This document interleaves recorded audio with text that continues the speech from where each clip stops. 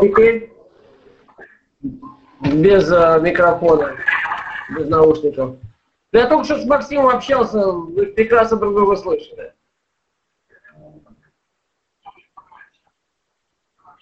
Отлично.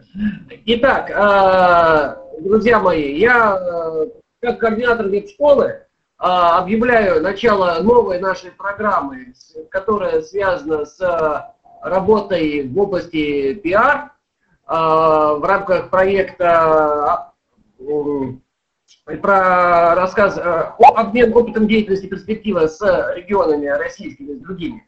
Вот. И в связи с этим сразу передаю слово руководителям этого проекта Олесе Пестряковой и Евгении Стикновой.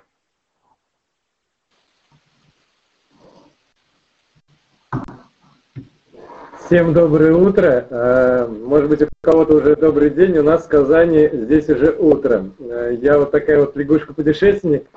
Меня хорошо слышно, кстати? О, я очень, очень рад. А, вчера был э, в набережных Челнах, где строят замечательные э, КАМАЗы. Сегодня в Казани, завтра уже буду в Крыму. Вот, э, и с большим удовольствием я хотел бы поделиться своим опытом, потому что организация мероприятий – это та любимая вещь, которой я очень люблю заниматься. Итак, у меня будет с вами две встречи.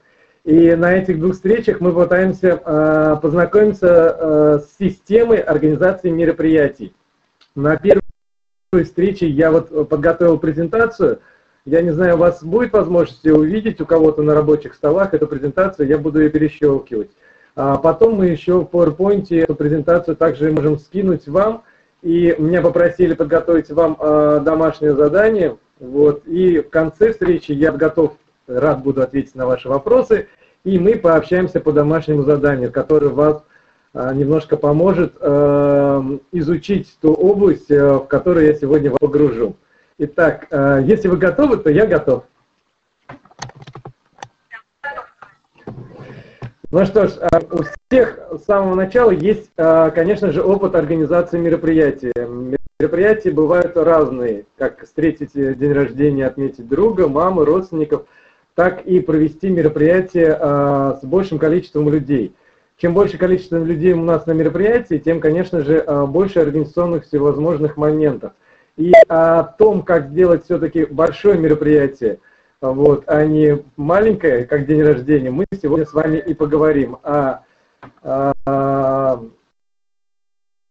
так, вот меня спрашивают презентацию, да? Вот, я, по-моему, запустил презентацию. Не видно? А, вот сейчас, вот так начать, если. Сейчас видно? Вот. Хорошо. Все, презентация видна. Итак, а, если представить, а, что такое организация мероприятия визуально, вот я представим вот сейчас вот такой вот а, список вот этот ручек, вот эти вопросы, которые мы привыкли решать. Обычно у нас при организации мероприятий мы как делаем? Мы кидаем всех в кучку и начинаем по, по ходу дела постепенно решать и убирать.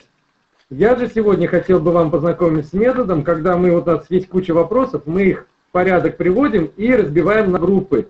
И за каждую группу отвечать у нас определенные, э, определенная команда людей. А вот эта система, она как раз будет более удобна и более функциональна и как, как следует она будет более эффективна в работе. Итак, с чего же начинается у нас э, мероприятие? Любовь. Попробую переключить слайд. Вот, э, видно, да, слайд второй. Конечно, мы должны определиться с, фор с форматом мероприятия. То ли это будет фестиваль, либо танцевальный марафон, может быть, это будет концерт, акция, флешмоб. А, формат мероприятия нам нужен для того, чтобы было а, понятно а, все нюансы построения данного мероприятия. Конечно же, у любого мероприятия должно быть название. Не просто кинофестиваль, не просто спортивное соревнование, а должен быть адрес, по которому средства массовой информации вас будут, вас запомнят. Нужно название для того, чтобы население смогло легче вас увидеть. Если говорить с точки зрения пиара, именно по названию сейчас как раз употребляются хэштеги.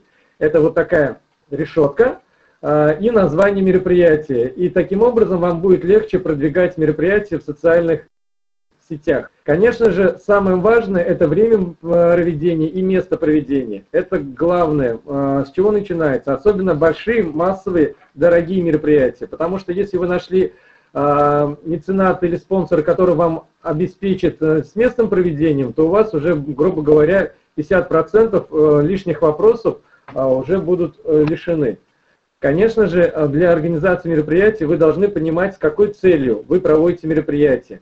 А, и какие, а, какие будет решать а, задачи данного мероприятия. Чтобы пришли средства массовой информации, журналисты, репортеры, корреспонденты, и вы могли четко сказать, ради чего я провожу это мероприятие. Собрать, например, деньги для нуждающихся. Хотим поднять какую-то проблему, если это у нас социальный проект. Вот. Поэтому цели и задачи, они должны быть ясны, понятны организаторам мероприятий. Либо это фандрайзинговое мероприятие, и мы его проводим ради того, чтобы собрать средства для реализации социально значимых продуктов, либо это мероприятие направлено на привлечение общественности к какой-то проблеме, социальной проблеме. Вот. Следующая позиция, с чего мы начинаем, это определение специфики аудитории на кого мы рассчитываем. Например, э, если это фандрайзинговое мероприятие, то э, эффективнее э, всего его проводить для богатую аудиторию, и таким образом мы формируем бюджет. Бюджет, уже я перехожу на следующую да, сразу сторону, бюджет будет формироваться следующим образом. Это, если брать 100% бюджет мероприятия это 100%, то вам нужно, э, ваша будет э, заявка э, в 300-400% вы должны заработать на мероприятии. Это как минимум. Грубо говоря, если вы хотите заработать 1 миллион, то у вас бюджет минимум будет 100 тысяч. Это минимум. И вы из этого должны расходить и составлять спонсорский пакет. Но об этом мы поговорим. Итак, аудитория ясна смета составлена, бюджет ясен, следующее вы должны распределить ответственных. А, кто что будет делать и желательно распределить функционал. А, делегировать э, весь круг вопросов, кто за что будет отвечать. Затем мы сами проводим мероприятие, и э, ключевая фраза, которую меня, по крайней мере, мои учителя учили, нам важно не само мероприятие, нам важно, как мы к нему готовились, как население ждало это мероприятие. И второй фактор э, при организации мероприятия, нам важно последствия этого мероприятия, нам важно, что об этом будут говорить. Конечно же, не все мероприятия происходят гладко. Нам важно, чтобы сам информации зрители не видели никаких-то не колкостей, не видели широко, чтобы они все вышли позитивные, заряженные, жизнерадостные. Вот. И поэтому завершающий этап – это мы должны продумать анализ мероприятия, отчетность перед спонсорами, перед меценаторами, инвесторами данного мероприятия и отчетность перед средствами массовой информации. Вот это основной план, по которому мы сегодня на нашем первом, э, первом мероприятии, нашем первой встрече и поговорим коротенько. И к нему у нас связано еще э, домашнее задание. Об этом я поговорю чуть-чуть позже. Итак, двигаемся дальше. А, с чего мы же определяем а, наше задание, наше мероприятие? Конечно же, идеи. Вот здесь на слайде написана вот такая фраза, может быть, два подхода к идее мероприятия. Либо это идея, ради чего создается, основная мысль, основной вывод, либо это большая идея. Вот второй вариант мне больше нравится. Это то есть идея, а, ради которой могут последовать миллионы. То есть почему вы проводите фестиваль, например, кинофестиваль? А, какой он может быть кинофестиваль? А, без барьеров, может быть, а, которым вот проводит перспектива. Может быть, это будет кинофестиваль без барьеров по определенной тематике, например, по людям с интеллектуальной инвалидностью, либо с задержкой в развитии, то есть мы можем определить какую-то специфику подбора киноматериала, либо задать какую-то вектор через название. То есть идея – это та вещь, на которой, то есть скелет, на которой будет держаться вся философия подготовки мероприятия. Весь смысловой, текстовой, э, те, все, э, вся философия, все, весь текст э, будет у нас э, на этом строиться. Итак, э, первое задание, которое вы получите э, э, в домашнем задании, это провести мозговой штурм и подумать две, придумать две идеи вашего мероприятия. Там у вас будет в домашнем задании таблица домашнего задания и, конечно же, необходимые пять шагов выбора идеи. Итак, допустим, что у вас уже идея ясна. Мы знаем, как, какое, какое интересное мероприятие у нас будет. Я очень люблю такое выражение – в чем же фишка, в чем вкус, вкус вкуснота вашего мероприятия, который бы зацепился массой информации. Вот э, как раз мы должны, когда выбираем идеи, мы должны ключевой вопрос себе поставить, почему средства массовой информации придут на наше мероприятие. Итак, двигаемся дальше. Итак, с чего же мы начинаем, с какой целью мы проводим? А, я вот для себя сделал вот такую формулу. Бывает просто мероприятие, в котором а, есть творчество, есть результат, то есть прошел у нас какой-то концерт. А бывают событийные мероприятия, а, которые отличаются уникальностью и актуальностью данного подхода к организации мероприятий. Очень часто встречается вот такая вещь, особенно в вузах проводят, либо маленькие компании, когда на мероприятие приходят Э, как и организаторы, и участники. И об этом э, мероприятии знает э, непосредственно вот это только узкий круг людей. Но мы же стремимся, так как мы являемся представителями НКО, и наша задача все-таки социально ориентировать любое мероприятие, наша ключевая задача привлечь через мероприятие общественности к любой проблеме. Поэтому я хотел бы, чтобы мы учились делать событийные мероприятия. Что значит событийное мероприятие? Значит, мы должны выбрать а, как раз круг, это миллион, которые бы узнали о нашем мероприятии. Это значит, мы обязательно должны привлечь средства массовой информации, значит, мы должны такую идею придумать, которая бы их зацепила. Мы должны обязательно подумать о том, почему зрители придут на это мероприятие, помимо организаторов и участников мы должны подумать э, и проработать вопрос, кто будет заниматься э, поиском зрителей, кто будет э, заниматься тем, что будет массовое мероприятие. И использовать друг посред, э, помимо того, что личного участия в данном мероприятии видел. Можно же еще посмотреть в записи, как проходило мероприятие, можно устроить онлайн-трансляцию, как у нас сегодня проходит тоже онлайн-трансляция. А, а, так, вот примерно а, этим и отличается у нас а, обычное мероприятие от событийного мероприятия. Поэтому, а, если вы хотите провести просто день рождения, если вы хотите провести мероприятие а, внутри своего, своей организации, то есть какой-то день рождения, это все хорошо, все замечательно. Но если вы хотите на мероприятии, э, ну, вот, плохое слово скажу, то есть инвест, привлечь спонсоров, то мы должны учиться, и сегодня у нас будет первое задание, когда мы будем учиться организовывать все-таки событийное мероприятие, чтобы оно стало информационным поводом. Как добиться этого, мы уже начали э, говорить от поиска идеи. Есть идея, хорошая, интересная, вкусная, значит будет у нас все успешно. Двигаемся дальше. Следующий сайт. С, за время работы и организации мероприятий я выработал следующую вот такую схему. 6, 3 и 1 месяц подготовки. А, как сказал Юдашкин, чтобы пошить кость... хороший костюм, нужно полгода. Так вот, а, мероприятие это, подготовка к мероприятию не хуже а, пошива любого костюма, платья. Поэтому любое мероприятие, если мы хотим хорошо прошло, да, и качественно, мы должны, а, меня не слышно тут пишут, да, или слышно?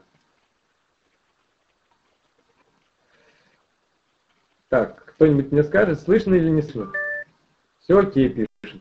Хорошо, продолжаю. А поэтому, если мы хотим, чтобы у нас прошло мероприятие хорошо, мы должны уже начинать его готовить за года. То есть вы видите первую встреч, э, с, э, стрелку э, э, под названием 6, цифра 6. Что мы за полгода? Мы должны придумать нашего мероприятия э, и составить план а также продумать, какую проблему будет решать наше мероприятие, выявить географию, сроки, цели, задачи, целевую аудиторию, механизм реализации, календарный план составить. Вот, а, то есть за полгода мы решаем глобальные вопросы, а, и при, а, у нас должно быть за полгода четкое представление. И обычно это а, будут у нас команды из 4-5 человек. А об этом, о команде 4-5 человек я немножко попозже поговорю. Сейчас я хотел бы, чтобы мы представили вот эту карту и схему, э, заключающуюся э, от этапов. Итак, за полгода мы представляем, что мы хотим сделать мероприятие. У нас должны быть следующий набор, который вы видите на слайде, э, мероприятий. Мы его садимся, проводим совещание и начинаем думать и спокойно, не спеша, начинаем придумывать цель, задачи, календарный график э, составлять, как у нас будет проходить мероприятие.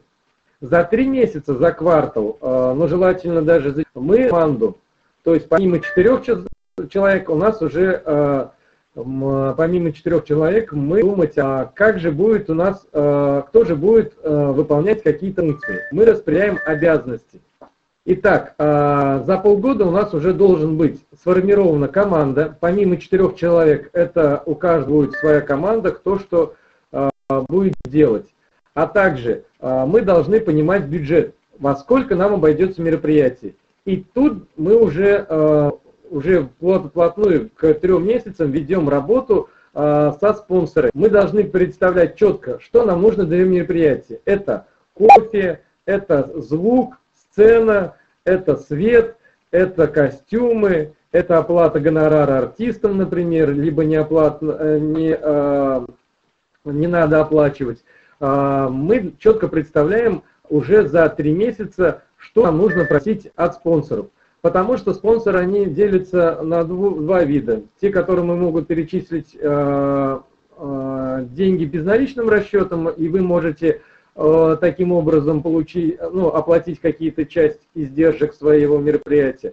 Но зачастую, э, ну, чаще всего, э, как практика показывает, бартером некоторые цветочные магазины предлагают свои услуги в качестве цветочной ну, продукции. У вас будет мероприятие, где будут красивые цветы. Многие ивент-агентства могут дать свои какие-то услуги, оформление шарами, тканью, драпировкой. То есть э, о ресурсах мы еще поговорим чуть больше, когда у нас будет слайд по фандрайзингу. То есть за три месяца у нас уже четко, э, повторюсь, четко сформирована команда, э, четко сформирована команда, и э, мы знаем, во сколько обойдется наше мероприятие. За полгода мы начинаем работу также э, э, со штабом волонтеров. А, что это значит э, со штабом волонтеров? Это значит, помимо самих сотрудников, которые будут привлечены, которые будут постоянно с этим работать, мы набираем команду людей, которые будут привлечены на самое мероприятие. И за три месяца мы начинаем тренинги для волонтеров – которые будут. Более подробно о штабе волонтеров я в следующем слайде скажу. Ну и за месяц до проведения мероприятия мы уже занимаемся вплотную организацией и проведением. У нас есть уже готовый сценарный план со сценарием, мы занимаемся э, с, э, непосредственно пиаром, то есть можем провести пресс-конференцию о том, что вот у нас уже все готово, и через месяц нас ждет э, замечательное мероприятие, к которому мы так долго готовились о котором э, так много уже говорят. То есть другие э, всевозможные подключаем технологии, как записываем известных артистов, которые придут на данное мероприятие. Я их еще называю свадебных генералов, которые э, будут тяжел, медийными магнитами для средств массовой информации. Это могут быть чиновники, которые придут туда, например, если к вам на мероприятие придет, например, Владимир Владимирович Путин, всем прекрасно понятно, что от средств массовой э, информации Э, от агентств различных, у вас отбоя не будет. Поэтому подумайте в своем регионе, э, что же, кого же интересно будет пригласить в рамках контекста, конечно же, вашего мероприятия, в рамках э, того, что вы будете проводить. Поэтому за месяц у вас должен быть уже проанализированы все ошибки, все риски. Вы должны уже за месяц готовить отчетность по спонсорам, и должны подумать о том, что э, будет дальше после мероприятия, уже за месяц у вас должно быть представление. Например, это у вас разовое мероприятие, либо оно уже станет э, традиционным. Э, возможно, нужно проработать вопрос со спонсорами, за месяц вы должны понять, и так э, проработать вопрос э, со своими партнерами мероприятия, чтобы было ясно, э, что у нас э, будет в, дальше, в дальнейшем. Кстати, э, очень тяжело проводить самостоятельно какой-либо некоммерческой организации э, данное мероприятие. Гораздо удобнее и эффективнее проводить вместе э, с ивент-агентствами какими-то крупными, либо другими какими-то компаниями. Например, если вы хотите провести танцевальный фестиваль, конечно же, взять очень просто можно просто взять и пригласить школу танцев, которая поможет вам организовать, пригласить мастеров и будет гораздо эффективнее работать.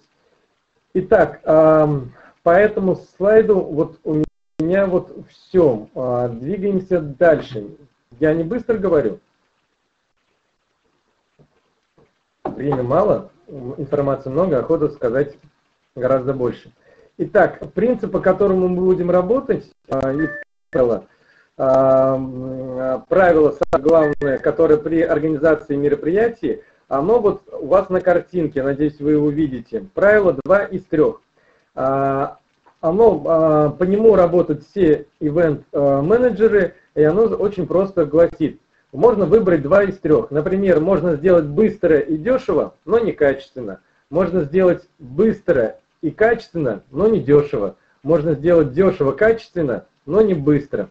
Поэтому, а, вернусь а, к тому а, самому мероприятию, лучше готовиться за 6 месяцев, чтобы сделать дешево, качественно, поэтому надо готовиться гораздо, гораздо дольше. Чем вы дольше готовитесь, тем больше у вас вероятность, что вы найдете средства для реализации данного мероприятия. Тем больше вы привлечете ресурсов для вашего мероприятия. По ресурсам, которые вы можете мы говорить, мы поговорим вот в следующем нашем слайде. Ой, и он у нас будет чуть попозже. А теперь поговорим о цели мероприятия.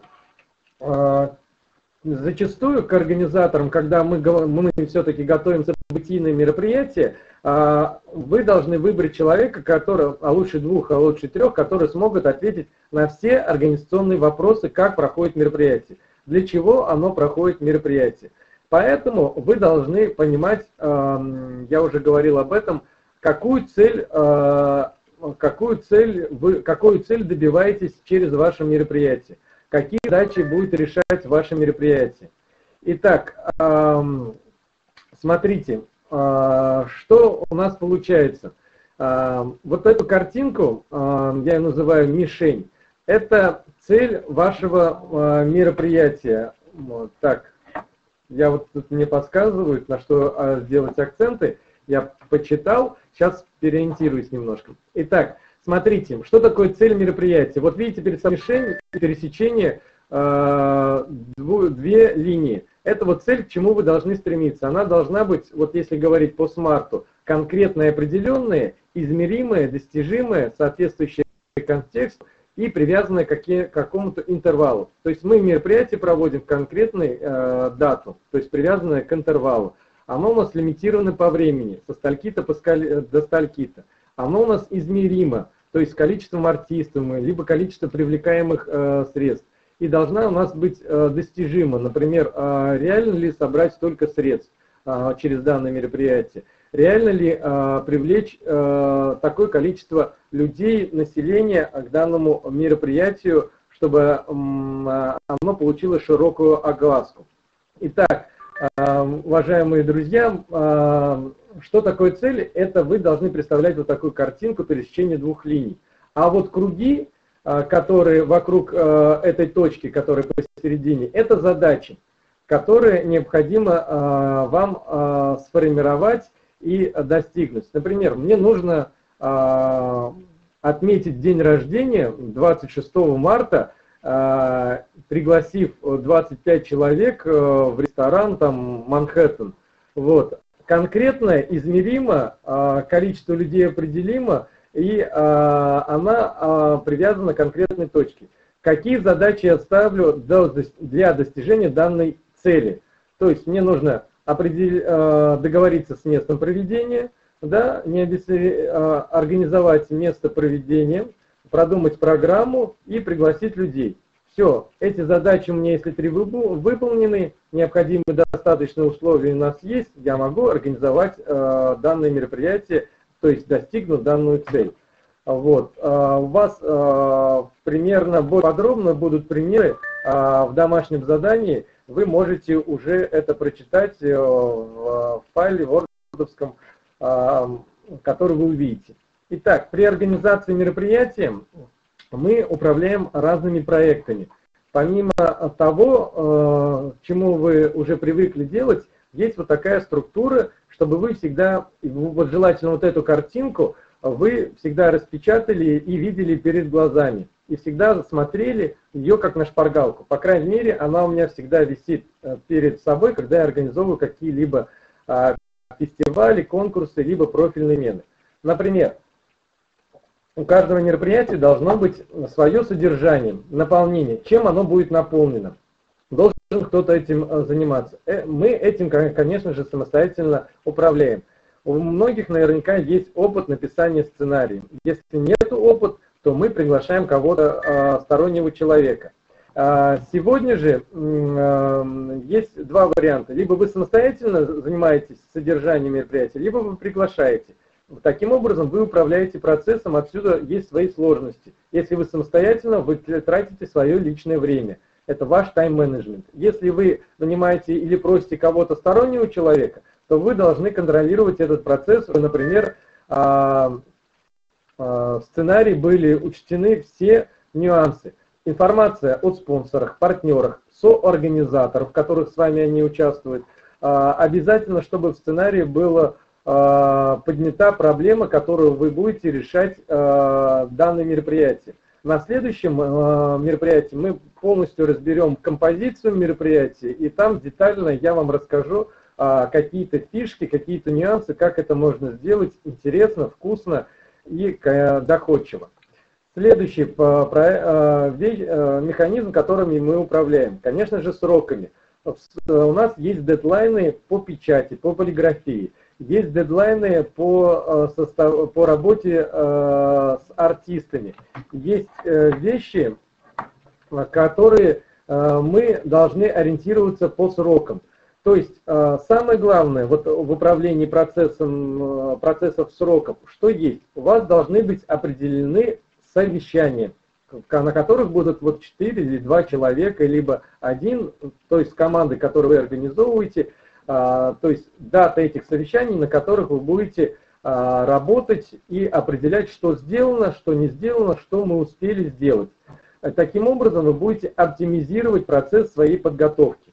А, это если у вас два человека, либо один человек, вы должны, у вас должен быть график, к какому времени что сделать. В домашнем задании у вас будет э, там э, более по, по, пояснена картинка, это называется график работы по вехам.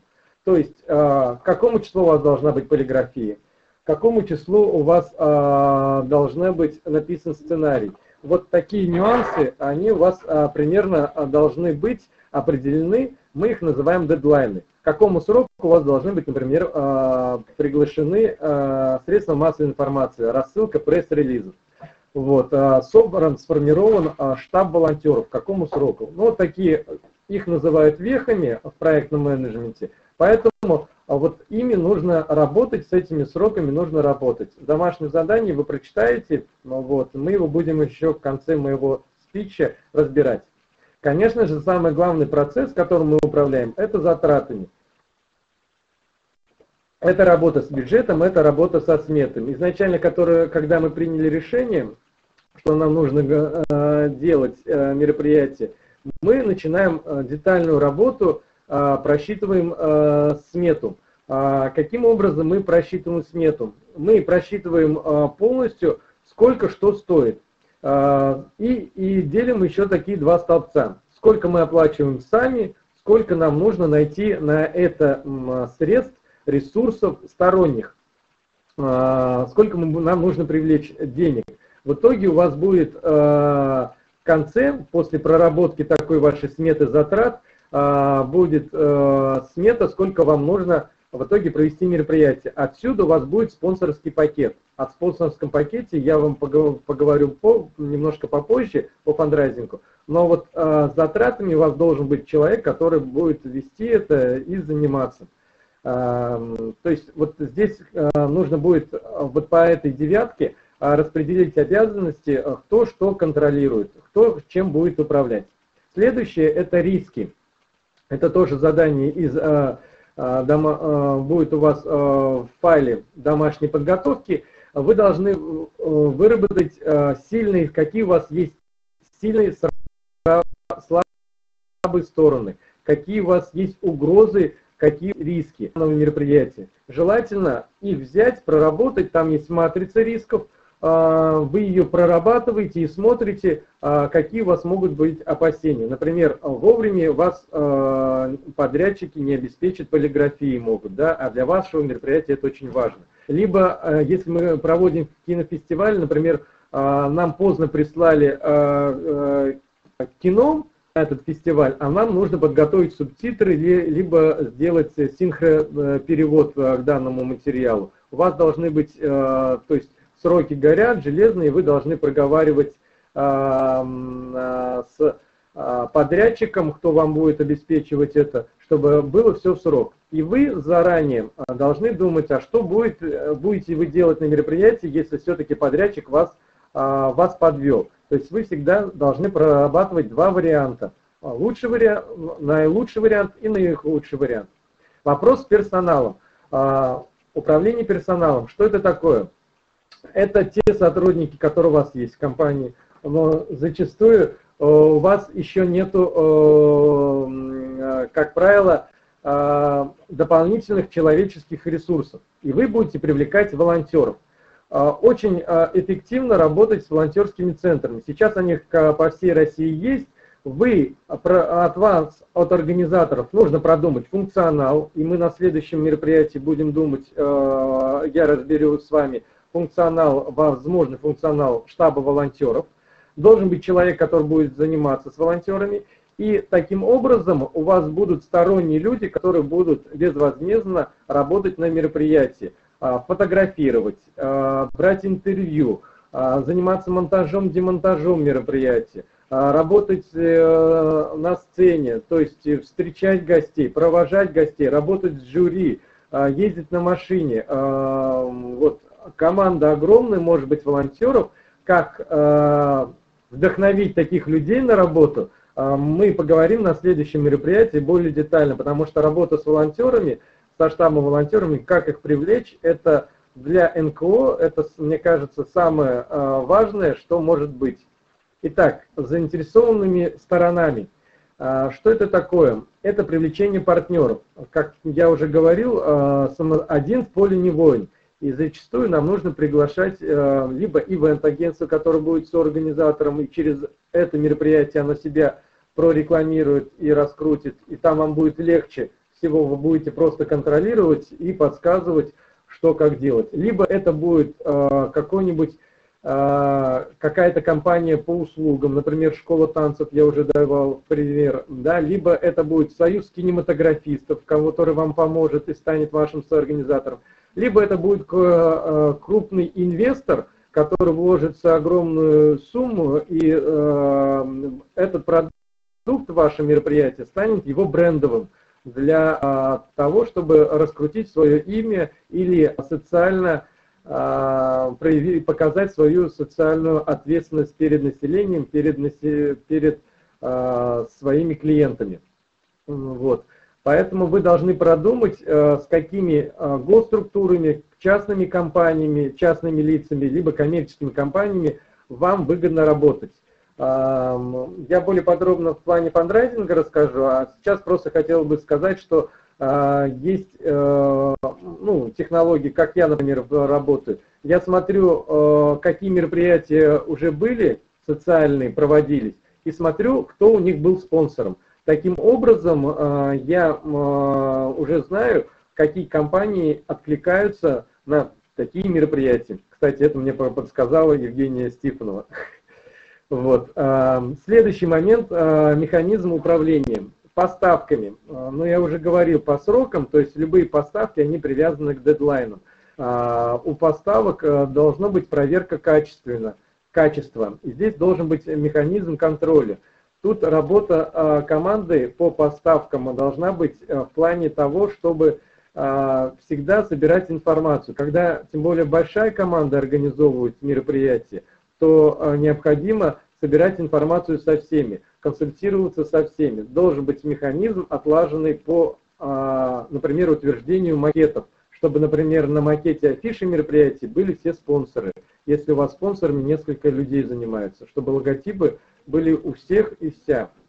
Вот. А, ну, по качеству я уже тоже сказал, затронул. И обменом информацией. Это, наверное, может быть самое важное, потому что а, я буду говорить и всегда говорю, что мы делаем событийные мероприятия, и мы через а, наши мероприятия сообщаем населению о какой-то проблеме. Мы привлекаем население к какой-то проблеме посредством социальных сетей, посредством пресс-конференций, посредством видеороликов, которые приурочены к данному мероприятию. Все это поднимает э, ажиотаж вокруг мероприятия. Итак, самое главное до мероприятия – это ажиотаж. Слово, я думаю, вам всем знакомо. Ажиотаж – это значит, чтобы спрос превышал предложение. Вот, чтобы у вас было гораздо больше людей, которые придут.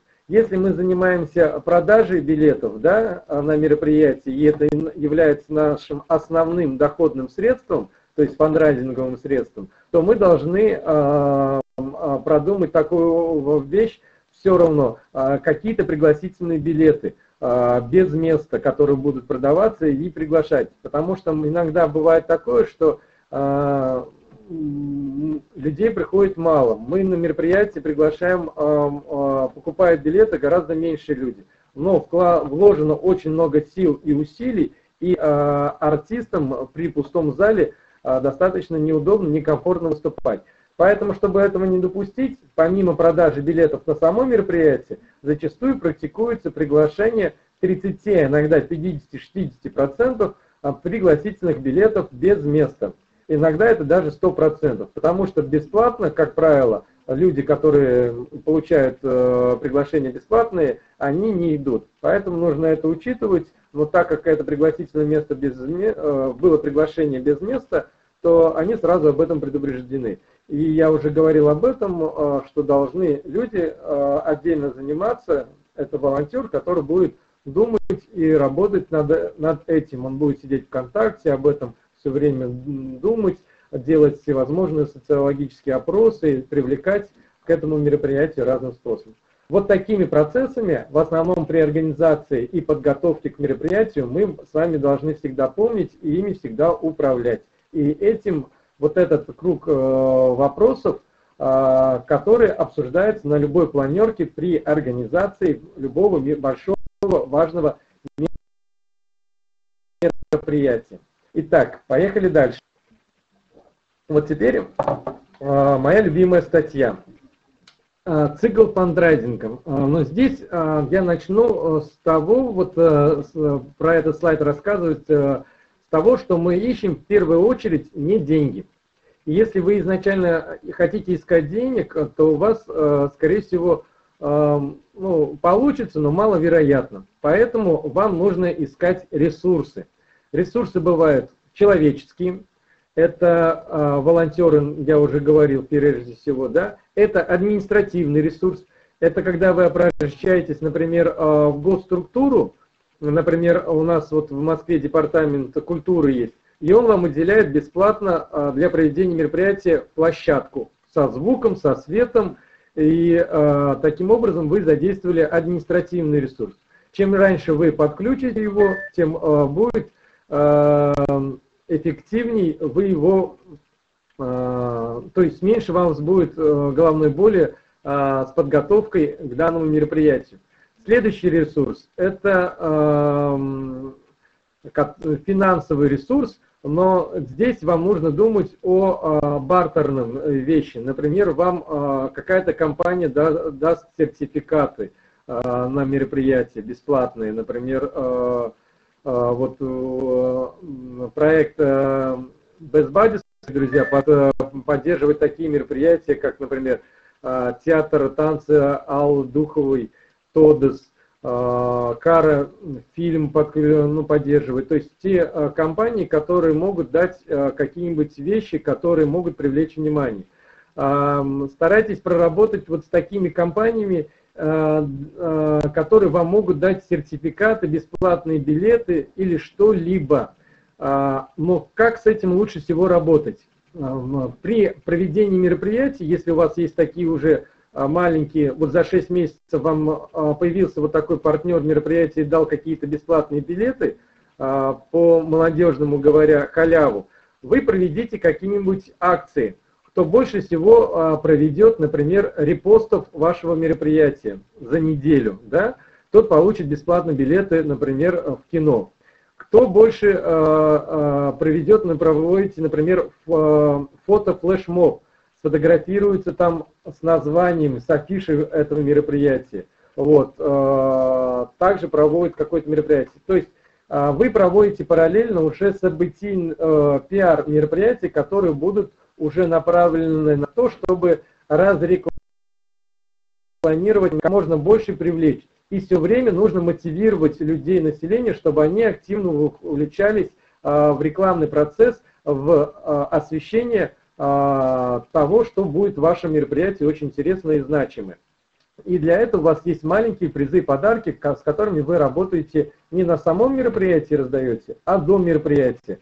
То есть за, 6, о, за 3 месяца вы можете начинать уже работать и готовить, привлекать меропри... Э, к мероприятию. Если за полгода, то можно.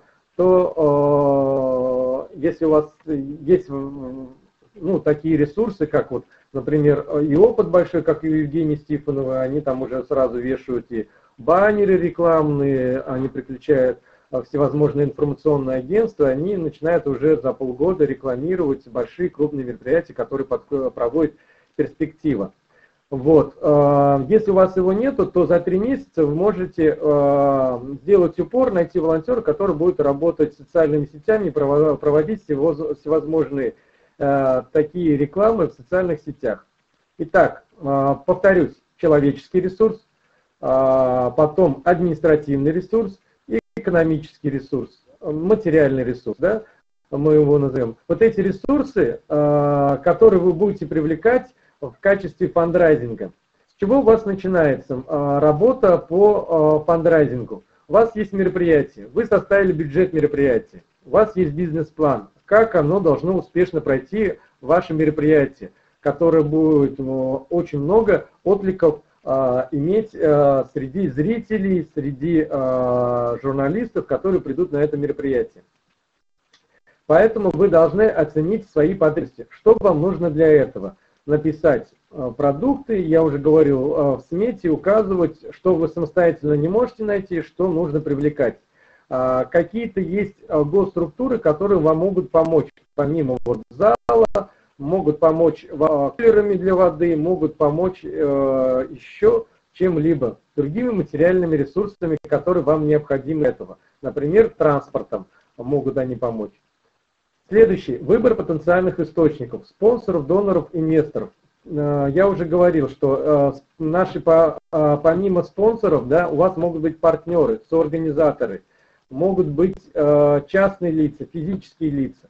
Здесь вы должны понять, а каким способом вы будете собирать средства для реализации социально значимых проектов, для лечения какого-либо ребенка, для оплаты курса реабилитации, например. Да, то есть а, способов технологий очень много, но самое главное, что вы должны их четко прописать, посредством чего вы собираете. И прописать план а, по датам, какому сроку, сколько вы можете сделать. У вас есть а, даты а, по срокам, а, когда вам нужна полиграфия. У вас денег нету.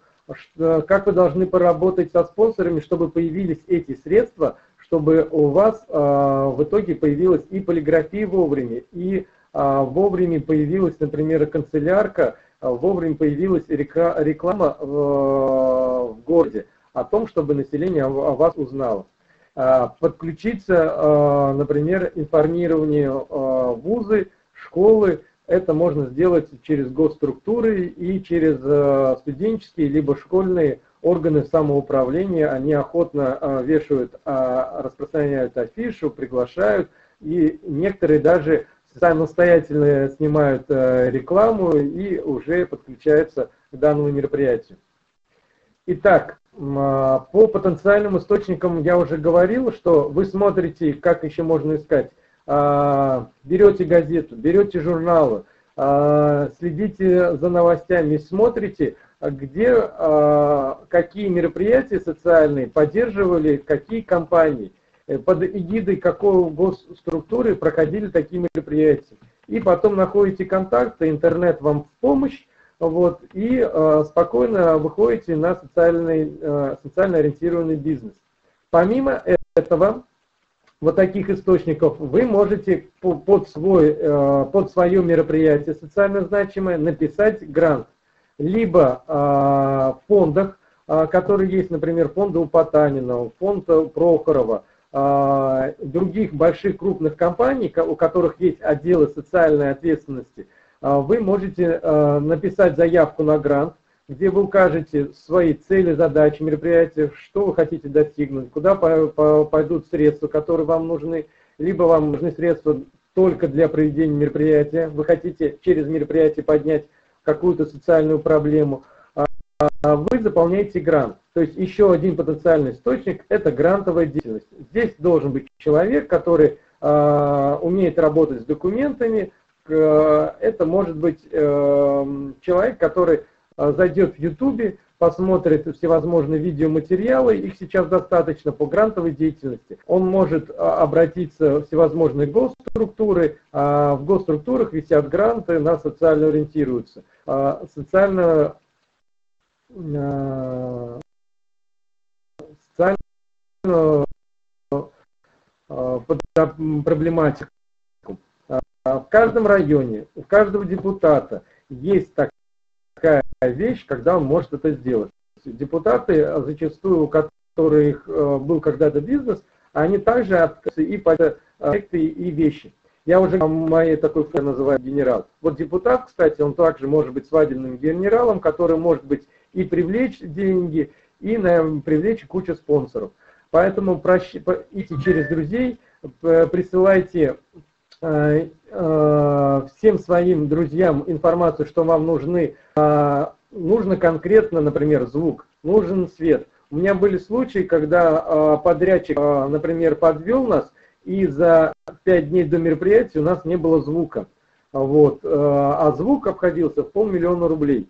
Мы обзвонили всех друзей, всех знакомых. В итоге мы нашли подрядчика, который нам поставил э, звук на полмиллиона, но мы оплатили ему всего 55 тысяч. Вот, э, при том, что мы еще нашли э, там мецената, который э, выделил эти 55 тысяч. Поэтому если у вас есть какие-то, вы работаете по, по планам подготовки мероприятий видите, что что-то не успеваете, активнее подключайте своих друзей и знакомых. Это самый эффективный метод поиска средств для вашего мероприятия. А, следующий этап, вот фиолетовым у меня идет, да, вот а, проведение конкретных мероприятий по привлечению конкретных ресурсов. То есть частично я уже об этом сказал, то есть это реклама будет говорить о том, что у вас будет проходить э, мероприятие. И самое главное, что такое фандрайзинг, да, если вот э, говорить опыт э, иностранный уже, да, он пишется в простонародье буквами PR. Это очень похоже на аббревиатуру связи с общественностью, PR. Поэтому очень две тесно связаны, есть две э, связи. PR мероприятия и ФР, фандрайзинга мероприятия. Почему? Потому что э, через данное мероприятие э, компании, они э, будут заинтересованы в своей рекламе. Что вы можете предложить? Э, здесь вот э, по проведению, по привлечению конкретных мероприятий вы должны задаться своим вопрос, э, вопросом. Чем вы будете полезны э, данному, э, данному меценату, данному инвестору вашему мероприятию? Что вы предлагаете взамен? Во-первых, это традиционно вы можете предложить текст о компании со сцены. Это баннер на вашем сайте, логотип компании, спонсора, да, партнера, друга зачастую – это информация а, о логотипе и о компании в зависимости от спонсорского пакета. Это в раздаточной печатной полиграфии, которая она будет. А, здесь же у вас должно быть четко сформулировано понимание о том, насколько вам важен этот партнер, сколько он вам дает денег. И здесь мы должны затронуть такую вещь очень интересную – как под названием спонсорский пакет. А, есть компании, которые, например, а, вам дадут полиграфию. Да? А, вы должны просчитать и уже продумать, они дают полиграфию на какую сумму. Есть компании, которые будут обслуживать вам кейтеринг, обслуживать, э, дают бесплатное питание на мероприятии, там всякие снеки, покушать, поесть, воду дают тоже просчитать, на какую сумму они дают. А, таким образом, а, вы а, будете помогает Отсюда, вот при начале мероприятия у вас будет тяжело составить спонсорский пакет. А потом вы можете попробовать, эм, но это отдельная, вот, честно говоря, тема по фандрайзингу, но все равно я заострю при организации мероприятий. Вы попробуйте продавать спонсорский пакет. Это значит, э, может быть у вас генеральный партнер мероприятия, который выделил 1 миллион. То есть стоимость такого э, э, генерального партнера обходится 1 миллион рублей. Он перечисляет эти средства на вашу компанию. Либо он на, на 1 миллион оплачивает все мероприятия. То есть тут два подхода. Вы, он, вы приглашение обязательно подписываете договоренности, что он будет генеральным партнером на основании таких-то услуг, что вы ему представляете. Он будет, его логотип будет самым крупным, он будет везде. А, таких могут быть два. Главное, чтобы не конфликтующих эти были два генеральных партнера, например, Билайн и Мегафон. Они просто не согласятся. То есть тут нужно думать, кого приглашать и что делать. Может быть официальный партнер, то есть он чуть-чуть меньше дает денег, но он также появляется а, на а, всех полиграфии, но чуть-чуть меньше размер его логотип. Может быть информационный партнер, генеральный информационный партнер, который на определенную сумму, вы должны просчитать, на какую сумму он дает рекламу, чтобы именоваться генеральным партнером. А может быть у нас просто не генеральный информационный партнер, а просто информационный партнер, который обеспечивает вам а, освещение. А, того, что будет мероприятие. Что делает информационный партнер? Он проводит серию встреч на, например, радиостанции о том, как готовится мероприятие, о том, какие звезды а, будут на этом мероприятии, они приходят на, радио, на радиостанцию и дают интервью. Желательно вот такие серии информационных делать за месяц, за две недели более активно, потому что, э, как правило, люди, э, которые могли бы прийти на ваше мероприятие, они планируют свое свободное время. Вот таким же образом э, поступают и редакторы средств массовой информации, они планируют свой график эфира, они планируют свою рекламную сетку, и таким образом вам нужно продумать то, что может вам дать и каким партнером вашего мероприятия может быть. Подытожим. Генеральный партнер просто основной партнер может быть может быть просто партнер мероприятия, может быть генеральный информационный партнер, можно быть просто информационный партнер мероприятия. Следующее, оценка результатов. Это вот уже я уже об этом начал говорить. Кто сколько дает, э, кто может называться каким э, спонсором, партнером вашего мероприятия, какой вклад он вложил. Оценка результатов вы всегда строите.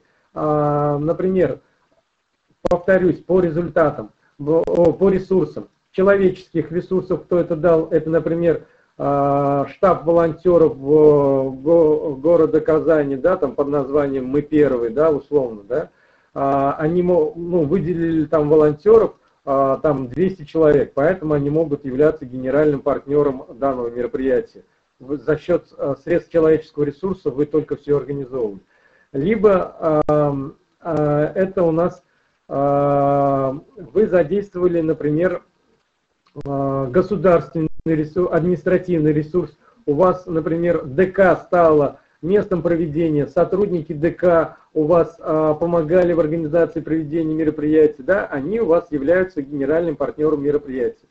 Это административный ресурс. Это, например, материальный ресурс. Это, например, вы работали с спонсором, который стал у вас генеральным, либо он оплат, э, перечислил вам нали, наличкой ваш расчетный счет, либо вас, э, э, вас они поддержали и оплачивали все ваши счета на определенную сумму. Это ваш генеральный партнер мероприятия, либо партнер мероприятия. И потом, опять, заметьте, это цикл фандрайзинга. Вы все время работаете и смотрите, что вам еще не хватает, хватает что есть, что купили, и э, э, опять возвращаетесь к оценке своих потребностей по мероприятию. Вот так вот мы готовимся примерно по механизму фандрайзинга. Это, конечно, очень скупо я рассказал, но более-менее, я надеюсь, вам будет ясно. А, а, в, вордовском файле, который вы сегодня получите, там будет а, несколько интересных вещей по фандрайзингу, а, по тому, как проработать, проанализировать, составить смету. Они там будут. У вас будет возможность их проработать, задать вопросы. И следующую встречу я буду, как раз начну отвечать а, а, с того, как вы проработаете домашнее задание. Вот. И следующая ключевая вещь, мы приходим уже к завершению – я, наверное, уже много болтаю, но время э, очень э, терпит. Итак, за время работы э, и читая кучу книжек э, и работая э, на различных международных всероссийских проектах, э, мы выработали такую систему. Ну, выработали, и система уже выработалась, потому что есть целое направление, называется она Event Management – его event management вообще преподают э, за рубежом отдельной специальности, получают высшее образование. Э, в том числе я получил в свое время тоже э, не высшее образование, а прошел курсы повышения квалификации. Итак, любое мероприятие делится на четыре составляющие. Это администрирование мероприятия, это которая группа людей, которые занимаются за организацию и проведение. Это те люди, на котором держится все либо. Следующий – это старший администратор, это секретарь жюри, это встречающие ВИПов, это курьеры, костюмеры, ответственные за гримерки, волонтеры. Штаб волонтеров – это все вот в этом направлении. Следующее – творческое наполнение мероприятия. Это режиссеры, сценаристы, артисты, художники, оформители, дизайнеры и так далее. То есть то, что можно, чем наполнить мероприятие. Это та э, неуправляемая лю группа людей, которые над которыми нужно все время следить и контролировать. Они ставят перед, они занимаются над тем, как вкусно и интересно пройдет мероприятие, как феерично оно запомнится, сколько эмоций получат зрители от этого мероприятия. А вот технич... следующая группа, отвечающая за техническое обеспечение, она часто с зелеными конфликтует. Почему? А, те напридумывают, говорят, мы хотим фейерверк. Технические э, службы, они просчитывают, говорят, это дорого. Э, можем, конечно, сделать, это реально, нереально, уложимся мы в сроки. И э, следующая команда, ребят, это светорежиссеры, звукорежиссеры, рабочие сцены, они прорабатывают и думают о том, как должно пройти мероприятие, чтобы все работало, чтобы все сверкало, чтобы все было изумительно сделано. И а, следующая группа, самая важная, как я считаю, при проведении мероприятия, потому что мы делаем не мероприятие, мы делаем событие. А событие, это значит, мы должны привлечь, сделать широкую огласку о мероприятии. Это информационное освещение о том, как готовится мероприятие, о том, как прошло мероприятие. Вот этим занимаются у нас фотографы, видеооператоры, журналисты, пиарщики. Всевозможные технологии применяют для того, чтобы привлечь внимание к данной аудитории. На следующем слайде вот примерно мы можем посмотреть об этой команде э, работ. Я буду зачитывать, здесь плохо видно, в презентации вы почитаете более подробно, а здесь я хочу просто рассказать о том, э, какой функционал делать и что делать, если вас, например, не так много людей. А, четыре человека вполне могут самостоятельно сесть и организовать любое мероприятие. Если вы делаете просто мероприятие, достаточно троих. Исполнительного директора, арт-директора и технического директора. И вы можете спокойно организовать мероприятие, его провести великолепно. Все будут счастливы от того, а, как вы здорово провели мероприятие, и вы спокойно, а, как говорят мои э, ученики, на расслабоне проведете мероприятие. Если же вы хотите провести событийное мероприятие, привлечь а, информацию,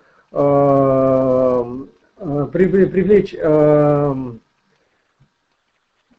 сделать социально ориентированное мероприятие, то у вас должен быть человек, отдельный человек, который будет заниматься пиаром, информационным освещением мероприятий. И вот эта команда, которая будет за 6 месяцев собираться, обсуждать, проводить мозговой штурм и вырабатывать концепцию идеи самого мероприятия. Я вначале говорил, что я буду об этом подробно говорить, вот и начинаю более подробно говорить. А, здесь вы должны понять а, и расставить вопросы, кто за что отвечает.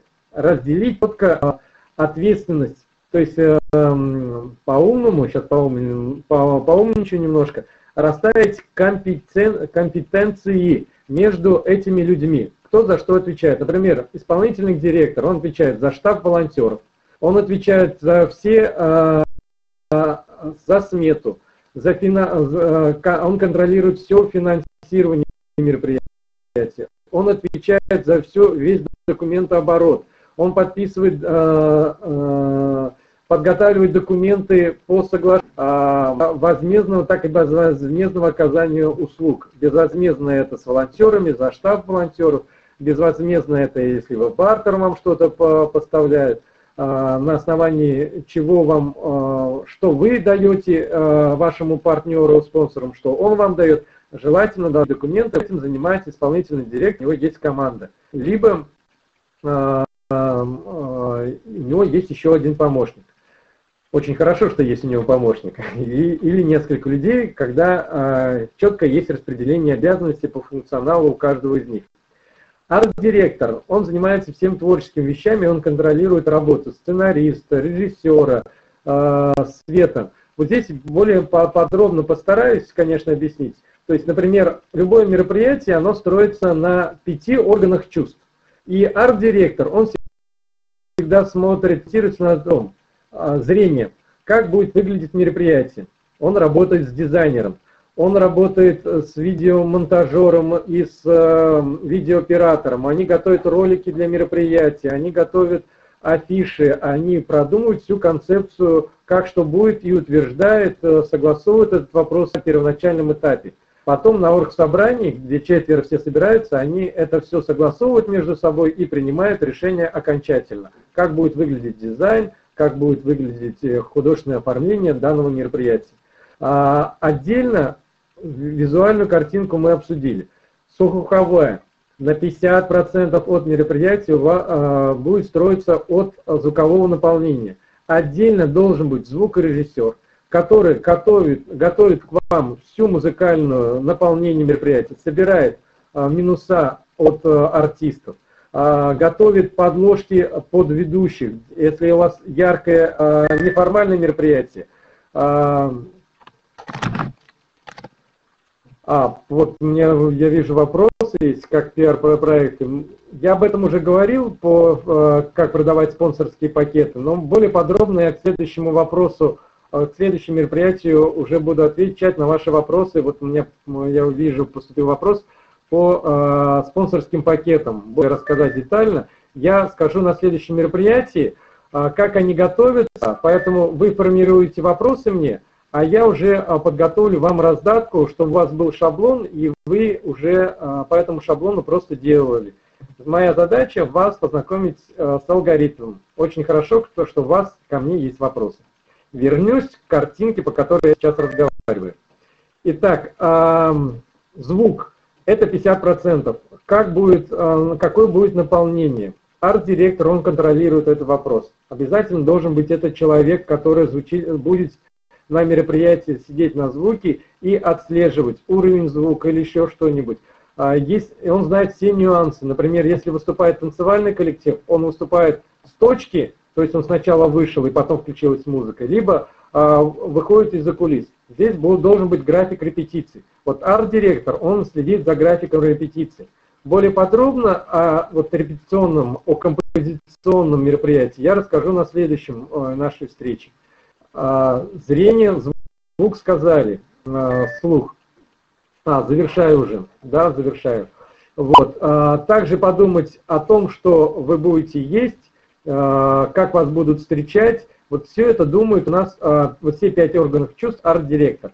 Технический директор, он думает, он работает с подрядчиками по свету, по звуку и смотрит внимательно о том, чтобы было все хорошо, чтобы транспорт был вовремя. У него есть график транспорта, когда нужно откуда все забрать, привезти, а, чтобы было все повешено, развешено на мероприятии, чтобы все было подключено, работало. Это человек, который знает все тонкости технические, сколько киловатт э, звука вам нужно для мероприятия, сколько электроэнергии для звука, сколько электроэнергии для э, света. Он умеет общаться с инженерами, математику, он э, работать, он имеет свою базу подрядчиков по этому направлению. Но информационное освещение это тоже может быть своя команда пиарщиков, которые привлекают внимание, и еще они проводят, эта команда, свои социологические исследования.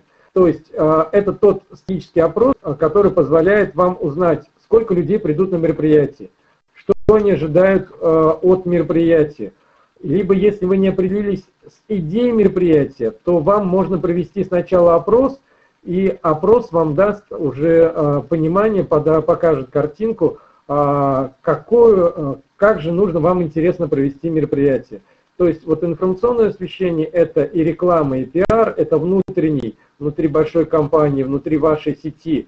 Что значит сети? Если мы проводим, например, а, мероприятие, связанное с, а, с людьми а, малоподвижными, то мы проводим внутренний пиар и внутреннюю рекламу. То мы приглашаем к этому мероприятию и рекламируем это мероприятие среди всех КО связаны с малоподвижными людьми. Таким образом, мы задействуем аудиторию Штины, а то бывает таким образом, что НКО проводит мероприятия, а, а другие организации, которые также работают с этими людьми, с этой целевой аудиторией, они об этом ничего не знают. Поэтому а, мероприятие и пиарщик, он думает, работает в двух направлениях. Внутренний это по данной отрасли, по которой он и внешний, чтобы пригласить э, более широкую огласку. Миллионы, миллионы, миллионы. Поехали дальше. Ну вот организация работы.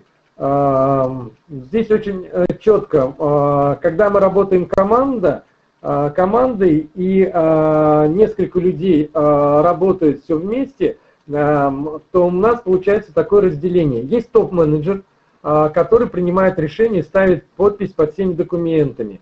Есть менеджеры, вот если вернусь я вот к следующему слайду, это вот исполнительный директор, арт-директор, технический директор, пиар-директор, это вот все топ-менеджеры. Они принимают решения в рамках своей, своей компетенции. А там могут быть старшие администраторы, а, например, главный штаба волонтеров, глава штаба волонтеров – это просто менеджеры, которые также принимают решения в, в контексте своего функционала. Есть топ-менеджер, исполнительный директор, есть а, просто менеджер, который также принимает решения и управляет процессами, более узкими процессами. Так вот, везде нужно быть, э, понимать четкая, э, четкая организация работы, четкая налаженная система взаимодействия друг с другом. Вот здесь она представлена из пяти этапов от получения задачи до отчетности. Вот отчетность обязательно готовят топ-менеджеры. А, и есть такая классная фраза «хорош тот руководитель, который э, ничего не делает». То есть его задача э, руководить процессами и смотреть, как что выполняется. Зачастую это, конечно, тяжело это сделать, но в его, э, ну, к этому лучше стремиться, чтобы нанимать либо людей, либо приглашать волонтеров, которые были исполнителями. Вот исполнители, они не делают отчетности, а делают отчетность только менеджеры и топ-менеджеры, которые управляют процессами, которые руководят а, командой. То есть у топ-менеджера есть команда менеджеров, у них есть функционал, и они делают свои отчеты. На основании этих отчетов, вот я вот про финишный этап говорю, а топ-менеджер формирует уже свой отчет, а, как проработано его эм, направление. То есть финансовые отчеты, а, дело производства и другие мероприятия. Семь э, правил организаторской работы вы прочитаете вот попозже. Разбор задания, я думаю, что вам он тоже будет понятен и увиден. Вот. Э, это просто почитать нужно и посмотреть. Это вот те подсказки, которые вы видите. В принципе, у меня все. Я старался быть лаконичным, времени очень мало, но э, я думаю, что наша первая встреча это была всего лишь затравка для того, чтобы вы получили домашнее задание, с ним поработали, и у вас появились вопросы. Я предлагаю, если у нас будет все-таки будет 9 15 мы, э, я хотел бы до 13 получить ваши вопросы, чтобы подготовиться к мероприятию следующему и подготовить ответы на ваши э, вопросы по домашнему заданию. Что вам не ясно, что вам э, ясно, какие есть у вас вопросы. И второе, э, вот по завершению хотел бы сказать, то есть в следующей встрече я буду говорить опять о фандрайзинге, о спортсовском пакете, о концепции мероприятия, о наполнении о экспозиции мероприятия, как оно строится, творческом и техническом наполнении и освещении мероприятия. Вот, все.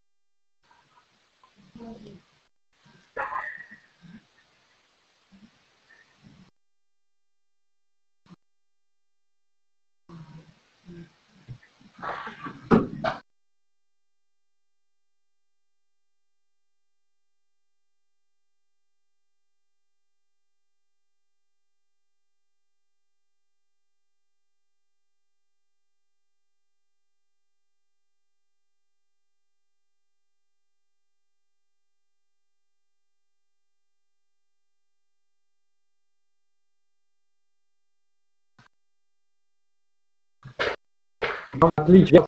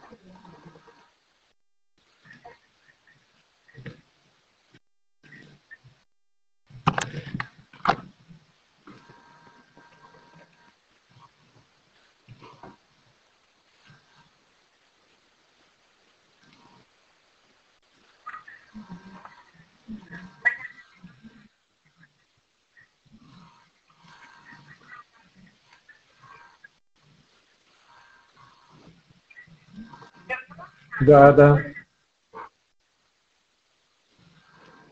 Итак, эм, я надеюсь, что у вас количество 9 страниц не напугает, потому что здесь достаточно все емко, и э, оно закрепит ту информацию, которую я сегодня говорил. Э, одно дело вы посмотрите по презентации, там мало слов, вот, эм, в основном картинки, а вот здесь много продуктива. Итак, Первая задача – это вам нужно придумать две идеи проведения мероприятия. Там есть таблица, и вам э, нужно будет ее просто оценить по содержанию, по стоимости, по срокам и рискам каждую идею.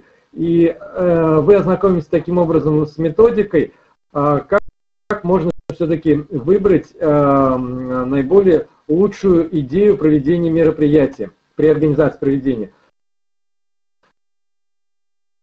технологии мозгового штурма, я думаю, я могу в следующей встрече, если вас интересует технология мозгового штурма, я ее проведу. Следующая задача – это по проблеме.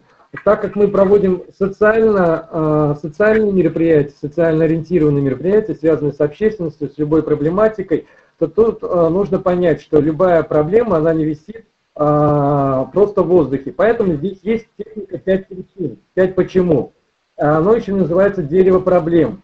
И а, вы ознакомитесь, достаточно все ясно написано, а, как ее а, для чего этот нужен инструмент, для того, чтобы когда вы делали, а, давали интервью по мероприятию на данную проблематику, вы могли ясно донести до средств массовой информации, почему существует эта проблема, почему она нерешаема, либо решаема, почему через это мероприятие вы можете ее решить. Следующая задача – это э, по управлением проектов нам нужно просто посмотреть и заполнить э, каждый этап управления проектом.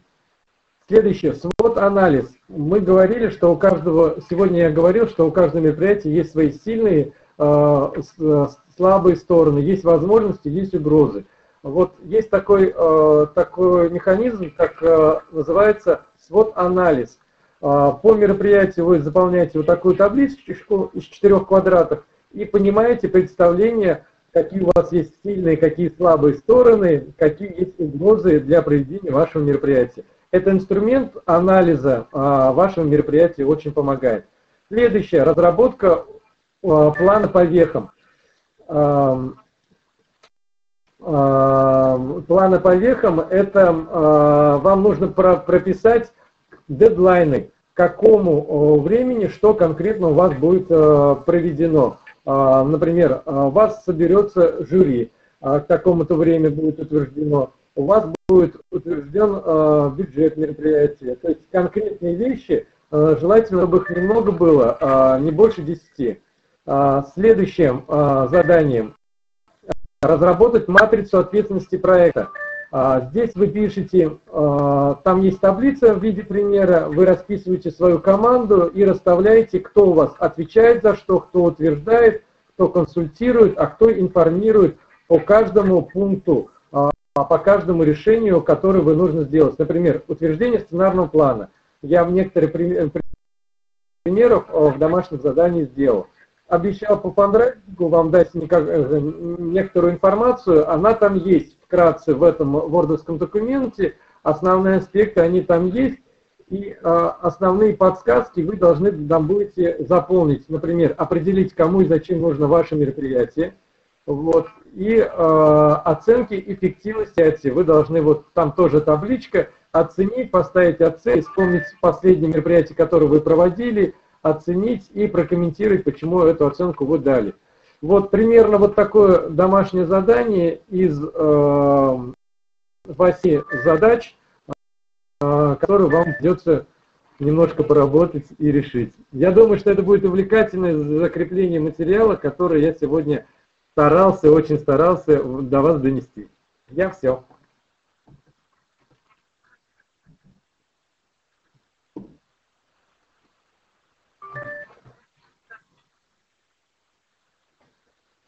В Ростове в 2014 десятилетие переименование. Я, наверное, так. Может, вы озвучите какие-то вопросы? Я просто сейчас смотрю тут организационное, что вот таблица. А, но я вижу только организационные вопросы, а по предмету нету. Если есть, говорите. Вот Сергей написал, что он вопросы подготовит, я отвечу потом.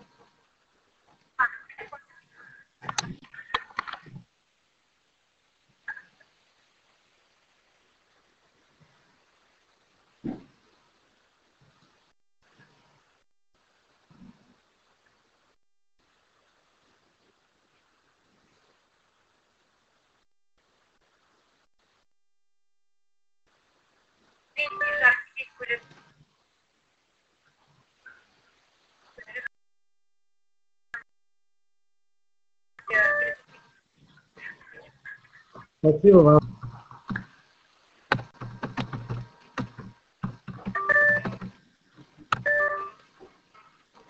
Так, все, включаю.